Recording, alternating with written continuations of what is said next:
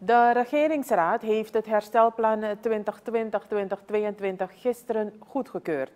Het herstelplan dat Suriname uit de financieel-economische problemen moet halen, wordt uiterlijk maandag aan de Nationale Assemblée aangeboden. Het doel van het herstelplan is om de economie van Suriname, die de afgelopen jaren ontspoord was, via een samenhangend pakket van maatregelen en projecten weer op het goede spoor te krijgen. Ook moet de lege staatskas plus een hoge schuldenlast van 58 miljard Surinaamse dollar, die de regering heeft aangetroffen, weer in balans worden gebracht.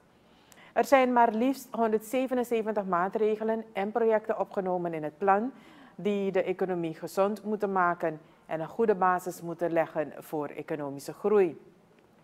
Gespecificeerd zijn er 24 maatregelen om de productie, export en werkgelegenheid te bevorderen en nog eens 32 ter ondersteuning. Het herstelplan moet na goedkeuring door de Nationale Assemblée worden uitgevoerd.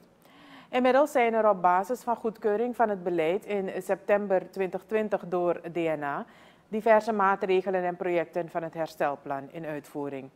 Eén daarvan is de uitbetaling van 1500 Surinaamse dollar aan werklozen die vanwege COVID-19 hun baan hebben verloren of minder inkomen hebben.